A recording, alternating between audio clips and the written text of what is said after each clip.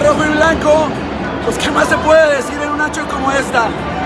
Partido redondo de Alexis Vega, ya por ahí varios se habían dicho que iba a mojar, que era un gran jugador, pero este equipo siempre necesita de estos jugadores, que los clásicos demuestren y después en la liguilla. Bienvenido Alexis Vega al Club Deportivo Guadalajara, bienvenido, esta es tu casa. Los demás, toda la chamba lo hicieron posible. Ponce, Mier, Pereira, Van Ranking, Molina, Dieter, Brizuela, hasta Cisneros. Todos hicieron la chamba. Felicidades.